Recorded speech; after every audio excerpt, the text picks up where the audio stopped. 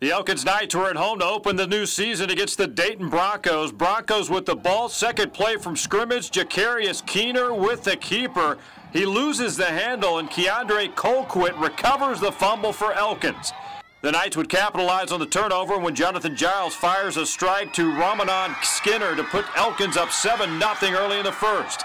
Same score, second quarter, when we saw more from the Knights. Grant Patterson scampers in for a five yard score at that point. Elkins takes a 14 0 advantage. Elkins was not holding back on the next series. Giles goes deep, and Shahab Khorshidpa brings it down and fights for extra yardage to complete a 54 yard play.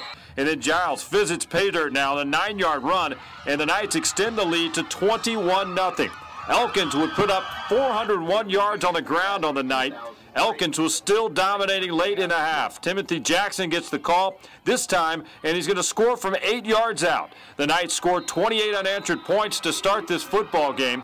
Dayton finally stopped the bleeding as Keener goes to the air. He'll find Kyle McBride, who takes it 65 yards for the score. Broncos get on the board, and they make it 28 7. But it was nowhere near enough as Elkins comes away with an explosive opening win, 55 13.